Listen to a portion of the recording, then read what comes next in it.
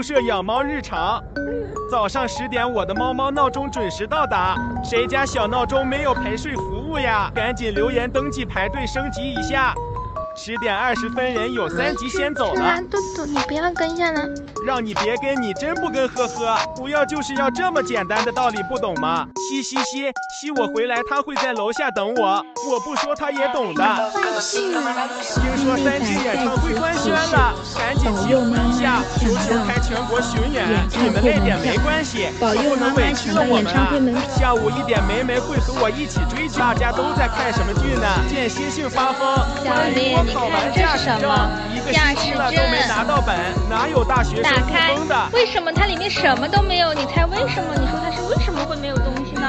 是谁一直嚷嚷要看梅梅下床的？就这样这样那样那样，下床前一定要揉一嗓子壮胆，就下去了。慢悠悠的梅梅仔是去喝水的，小水桶已上线。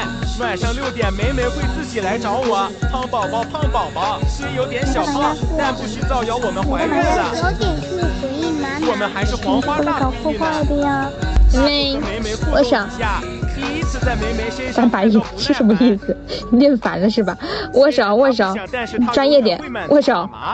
他肯定很爱我，做点梅梅喜欢的事吧。哈哈哈！为什么我像个打桩机？